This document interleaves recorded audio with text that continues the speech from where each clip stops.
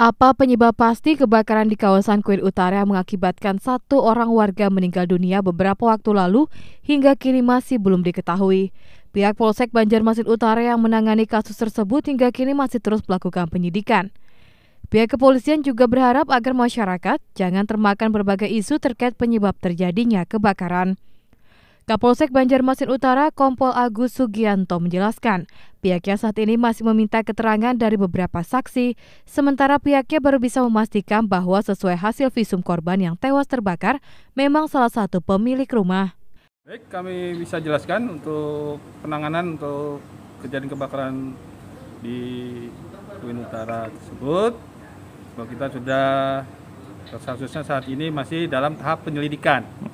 Kita sudah melakukan olah TKP, juga melakukan visum terhadap jenazah yang kemarin ditemukan dan juga meriksa saksi-saksi maupun barang bukti.